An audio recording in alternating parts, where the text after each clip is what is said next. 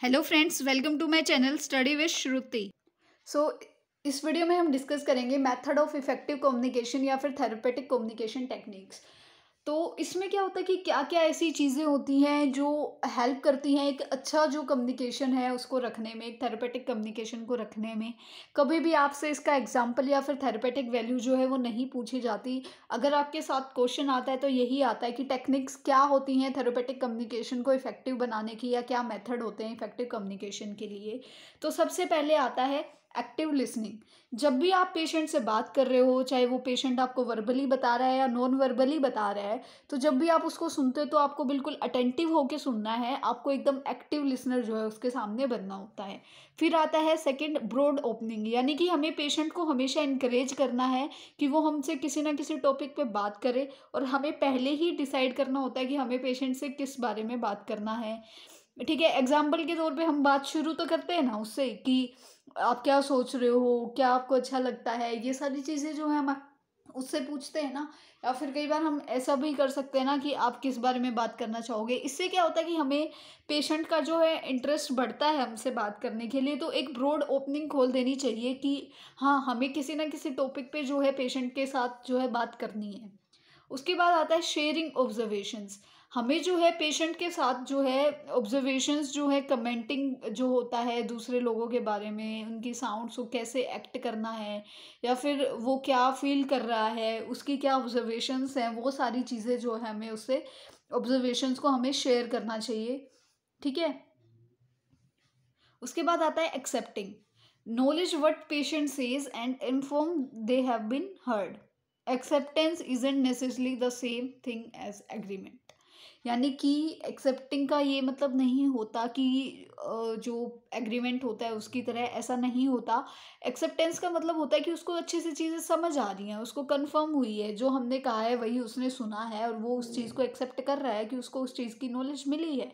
तो ये जो है ये बहुत ज़्यादा ज़रूरी होता है। उसके बाद ऑफरिंग सेल्फ यानी कि जो है पेशेंट के साथ जाके टाइम स्पेंड करना, उसको समझाना और उसके साथ बात करना, उसकी प्रॉब्लम्स को सुनना और उसके साथ डिस्कस करना। उसके बाद होता है शेयरिंग एम्पथी यानी कि एम्पथी का क्या मतलब होता है? किसी की जगह पे खुद को रख के देखना कि उसकी क्या कंडीशन है। वैसे ही एम्पथी जो है शेयर करनी है, खुद को जो है ये इतनी एबिलिटी होनी चाहिए कि वो पर्सन क्या फील कर रहा है, उसकी फीलिंग्स को हम एक्यूरेटली परसीव कर सके अपने लिए और उसको उसी हिसाब से सोच समझ के उससे कम्युनिकेट करें, उससे बात करें। उसके बाद आता है शेयरिंग होप जब भी हम उनसे बात करते हैं तो हमें जो है उनको एक हमेशा एक होप देनी होती है। हम कभी भी उनको क्या है डिमोटिवेट नहीं करते हैं। हमेशा एक पॉसिबिलिटी जो है उनके सामने रखनी होती है कि हाँ सब ठीक हो जाएगा। एक अच्छी होप जो है हमें उनको देनी होती है। उसके बाद आता है शेयरिंग ह्यूमर पेशेंट को हमेशा इनक्रेज किया जाता है उसको कि वो अपनी जो भी नेगेटिव एनर्जी है उसको रिड्यूस कर दे। उसको हमेशा वो इन्जॉय करे फन में रहे इन्जॉयमेंट का जो है एक लाइट रहे, वो बिल्कुल उस पर कुछ भी जो है मतलब नेगेटिव एनर्जी उसके ऊपर ना हो, कुछ भी बुरा ना सोचे तो हमेशा ये चीज़ें जो है उसको समझानी होती हैं और इसके लिए उसको इनक्रेज करना होता है। उसके बाद आता है थीम आइडेंटिफिकेशन आइडेंटिफाई के जो है मेन इशू होता है, जो पेशेंट्स में हम हम देखने को मिलता है प्रॉब्लम्स होती हैं जो फ्रिक्वेंटली आती रहती हैं इंट्रैक्शन की वजह से तो उसको जो है हमें ध्यान रखना पड़ता है कि ऐसा कोई इशू ना हो।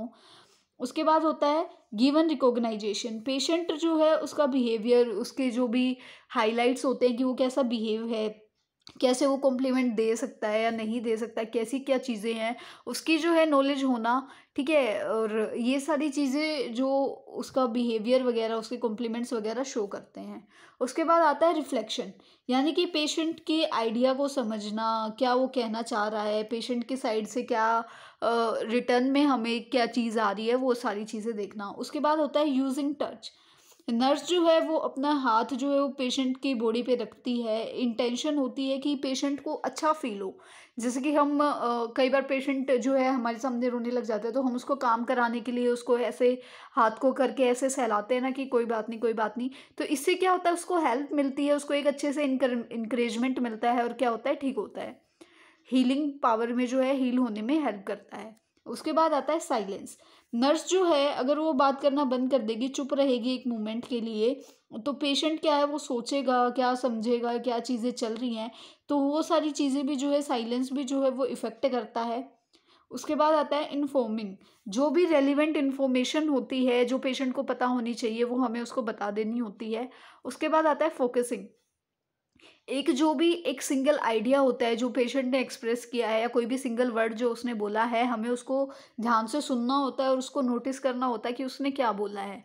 उसके बाद होता है क्लियर क्लैरिफाइंग इसके क्या होता है कि ये स्टेट करता है कि जो भी हमारा जो भी अनक्लियर या फिर जो एम्बिजियस जो भी मैसेज होते हैं, जो सेंडर का जो मीनिंग होता है उन सबको, इसके साथ वहीं पे आता है क्वेश्चनिंग करना, वो जो भी क्वेश्चन कर रहा है, उसको, उसका रिप्लाई देना, उसको समझना रीस्टेटिंग करना, कोई भी आइडिया है, ऐसा जो कोई भी वर्ड है, जो उसमें वो रिपीट चाहता है या आप उसको जो है रिपीट कर रहे हो या क्लाइंट को जो भी इसेंशियल वर्ड्स हैं, जो फ्रेशर हैं, वो उनको बताना, समझाना, उसके बाद समराइजिंग कोई भी चीज़ जो है, कोई भी इंफॉर्मेशन जो डॉक्यूमेंटेशन के रिगार्डिंग है, उसको एक समराइज वे में करना, वो सारी चीज़ें, उसके बाद कन्फ्रंटेशन ना करना, बहुत ज़्यादा जो है पेशेंट के साथ आर्ग्यूमेंट्स ना करना, उसको एटीट्यूड ना दिखाना, ठीक है? एक अच्छा और काम बिहेवियर रखना और सजेशन लेना कि कोई भी पॉसिबल आइडियाज़ कुछ भी अल्टरनेटिव जो पेशेंट के प्रोज या फिर कौन से रिलेटेड हैं।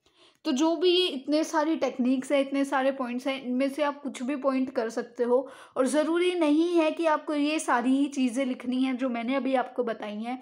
आप कुछ भी, कोई भी पॉइंट सेलेक्ट करके जो आपको लगता है कि ये हो सकता है, इसके अलावा भी बहुत सारी टेक्निक्स जो हैं, हो सकती हैं, जो आपके लिए आपका एक आइडिया होगा तो आप कुछ भी जो है एग्ज़ाम में लिख सकते हो। बट वो रेलिवेंट होना चाहिए। ऐसा नहीं है कि आप कहीं का कुछ भी जो है इसमें लागे रख दोगे, वो चीज़ नहीं होनी चाहिए। रेलिवेंट होना चाहिए टू द पॉइंट होना चाहिए।